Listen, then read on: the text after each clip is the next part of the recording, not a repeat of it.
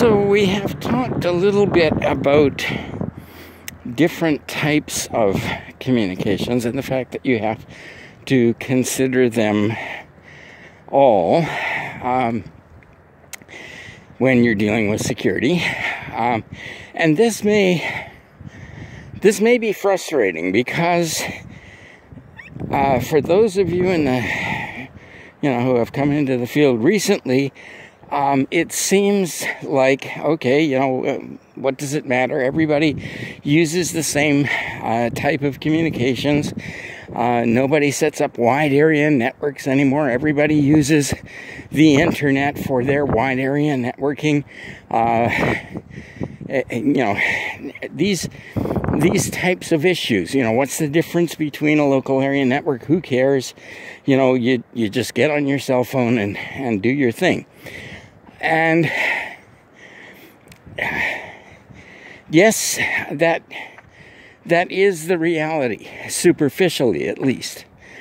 But the the different types of communications networks and, and knowing the underlying protocols and the development of the different protocols, even if some of them are not used anymore, gives you a much better understanding in terms of how to protect. When you understand the communication systems right down to the physical layer, right down to the physics of how you are transmitting a signal and how that signal can be modified in such a way as to represent data.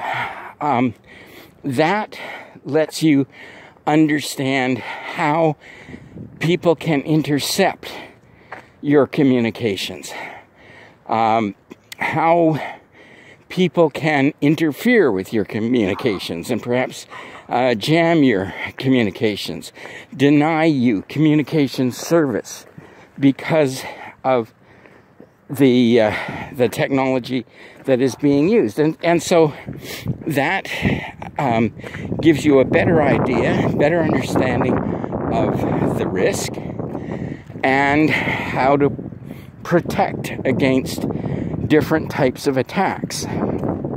Um, I, yeah, it, it can be uh, frustrating, you know, thinking that, you know, all of this stuff is old technology. Why do we have to know this? Well, uh, you don't really have to know it, but if you do, you understand at a more fundamental level, and that informs your ability to do the analysis, the the risk analysis, the threat analysis, the assessment of new technologies as they come along and are proposed to you. You know, this is the latest and greatest uh, form of communications. Well, why? And, um, you know, is it really uh, better, particularly in terms of security, which tends not to be an immediate interest to people who are proposing new technologies.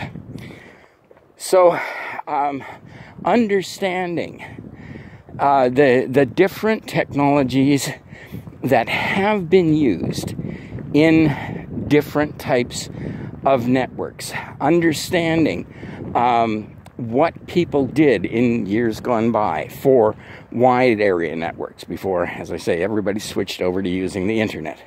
What people did in terms of local area networks, and even to the smaller extent, the uh, personal area networks that uh, people are setting up with, with Bluetooth um, so that you're again you know you're you've got your phone you've got your earpiece for your phone you've got a separate uh, physically separate uh, microphone for your phone you've got uh, storage in your pocket that you are using uh, for your phone or you know you're you're getting your information over your watch uh, even though it's coming through your phone. Understanding the difference. Um, even at a very fundamental uh, level. What is the difference between a text sent by text, by message, uh, or you know whatever it is called that uses SMS, short message service, through the cell network. Uh, what is the difference in in between that technology and WhatsApp, which is using the internet. And so it's using a data channel, even though the data channel is being provided by the cell or mobile service provider. Um, it is a different technology. As a matter of fact, it gets even closer than that because um, the text channel uh, is the administrative channel, and the data provided uh, by your cell or mobile provider is generally speaking over the administrative channel as well.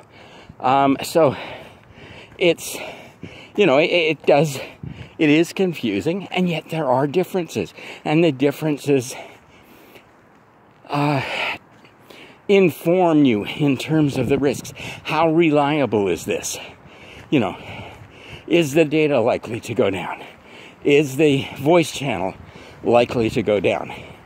Um, in, uh, uh, I don't know if I mentioned this in, in business continuity, but in a situation where we're dealing with um, uh, a, a, regional disaster, and like I say, you know, everybody picks up their cell phone, everybody tries to place a call, nobody gets through, at least in terms of the voice calls.